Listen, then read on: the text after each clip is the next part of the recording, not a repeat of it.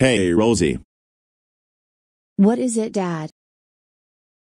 since today it's Caillou's birthday, we are going to celebrate his birthday on Chuck E. Cheese. Heck no, I'm not going to Chuck E. Cheese. The food is so smells like a fucking shit. I won't go to the Peter Piper Pizza. Shut up Rosie, we are not going to Peter Piper Pizza. We are going to Chuck E. Cheese because Caillou wants his birthday to be celebrated there. Let's go before it's too late.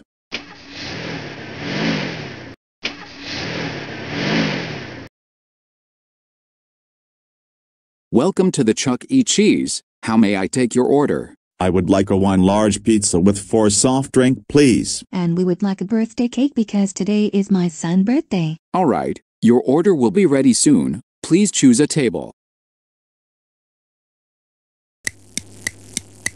Wow, this pizza is good. Let's eat it.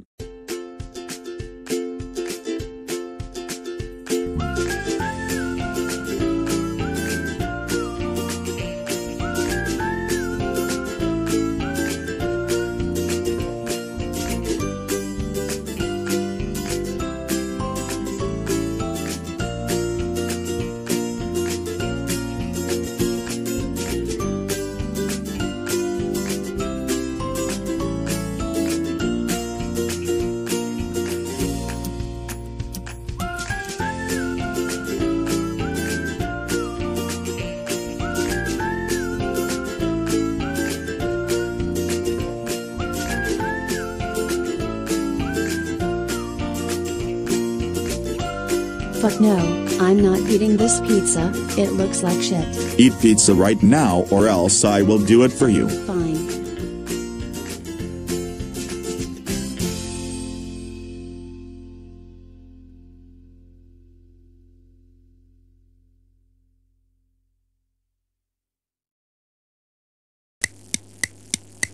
Happy birthday Caillou. Happy birthday, Caillou. Thanks mommy and daddy.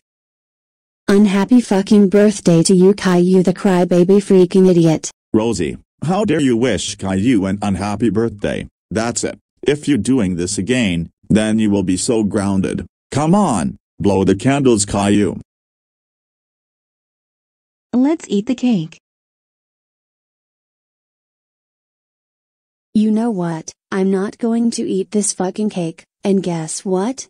I'm going to destroy the arcade machine so Caillou won't be able to play a game after eating cake. Sit right back down Rosie. Sit back young girl.